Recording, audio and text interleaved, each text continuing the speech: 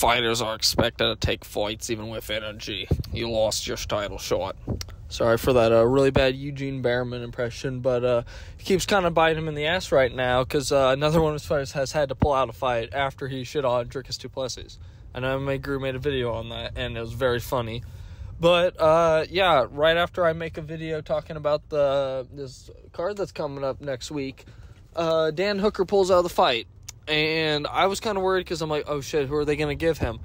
Uh, who are they gonna give Bobby Green to fight? Because Dan Hooker breaks his arm, which I I thought he had broken his arm from the Jalin Turner fight, but I guess maybe he, it wasn't as bad as they thought, and then it like re-injured or something. I don't really know. But there were some names that were thrown around. I remember I saw uh, Rafael dos Anjos was talking about accepting a fight, which I was like, sure, that would be fun. Two veterans of the game, one a former lightweight champion, former uh, welterweight interim uh, title challenger. I I was all for it, but uh, that didn't happen. Then people were saying uh, Benoit Saint Denis because he like recently fought and he's now in the top fifteen. So I was like, yeah, that fight as well. Either those fights. I don't know how. I didn't really think about oh who everyone would like the order of people I would think that would uh, step in, just because there's a lot of fighters. I don't. I think Jalin Turner was near the bottom of that list. Not because I didn't think uh, he didn't. He wasn't uh, brave enough to accept the fight or anything, but weight wise, because as we know, this guy is a huge weight bully.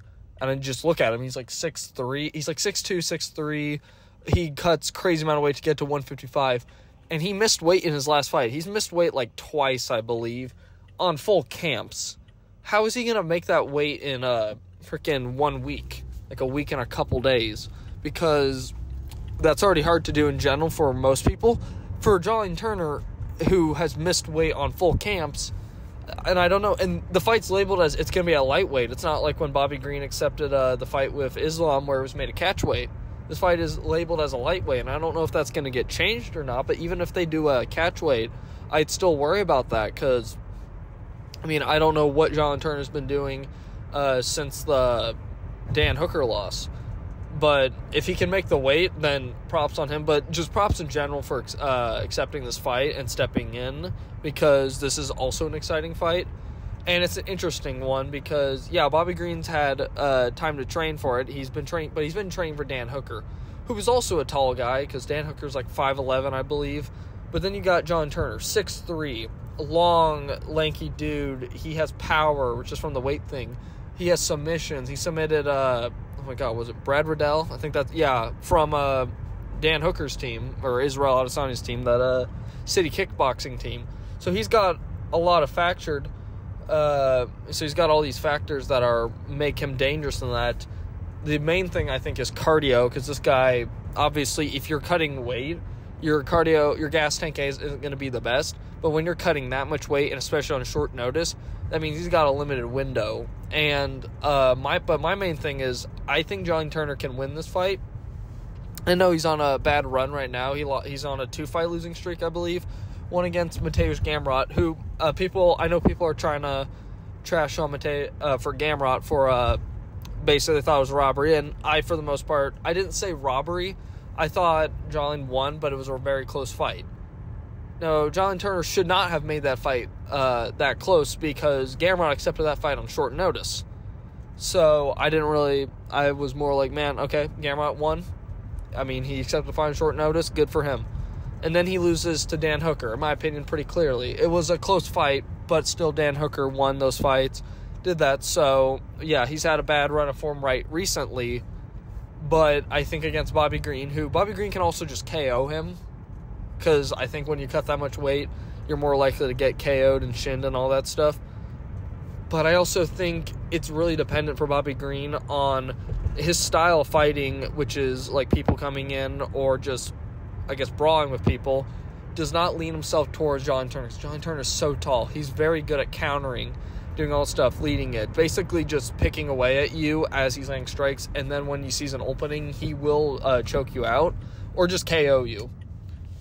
And I don't know, Bobby Green would have to basically just rush in and throw strikes just to try and finish him, just to basically minimize that uh, distance and long range. Basically, if you get in close, you can minimize the effectiveness of Jalin Turner. That's what that's just textbook what what you're supposed to do. If you're a shorter opponent, especially this much shorter, that's what you're supposed to do. But that kind of fits into what Jalin Turner does because that's what Brad Riddell tried doing, if I remember correctly, and he got like guillotined or something and just put to sleep. That's not a that's not something you're gonna want to see. And then you also got to realize that that's probably what Jalin Turner's preparing for. That's kind of something he's had to prepare for his entire career, being that I don't think he's ever fought someone that's the same height or taller than him. Like I can guarantee that. And I don't even think has he. I, he might have fought at welterweight at one point. I'm not sure. I think Jalin Turner just I believe he, yeah he's a younger dude. Uh, yeah, it's gonna be.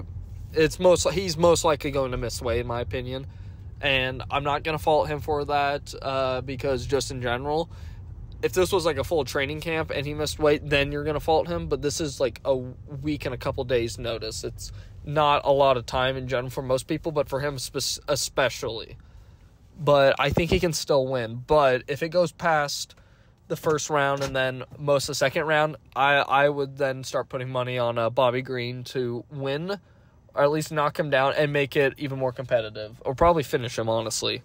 But yeah, no, I think this fight is still going to be exciting because I was excited for the Dan Hooker versus Bobby Green fight, but this fight isn't bad either. It just kind of sucks that it's a short notice fight. And if uh, Jalin Turner loses this fight, he might get cut because that's three fights in a row he loses, and in one of those losses he missed weight. So this fight can be really exciting, or it can be. Uh, I mean, it's going to be exciting in my opinion. I think that's a guarantee. But really, this could be the make or break for Jalin Turner. But this also might guarantee him because if it was like, hey, if he just took a full camp and lost another fight, he's cut. But since he accepted this fight on short notice, he's getting paid a lot more. And they might be like, well, normally we would cut you because it's three losses in a row, but you lost to a guy in the top 15 and on short notice, and you did us a big favor. We're going to give you a guarantee. I think that might be his main thing. Also, just getting paid and a chance just to fight again and hopefully get a win. But I think he won't. I, he might not get cut because accepting his fight on short notice. That isn't really something the UFC does. They don't really cut fighters for accepting a fight on short notice. They kind of uh, reward you for doing that. So I, I see Jalin Turner. He I think he's going to win this fight, but even if he doesn't, he's still going to have at least one more fight in the UFC. I think that's a guarantee. But yeah, no, that's about it. Uh, bye.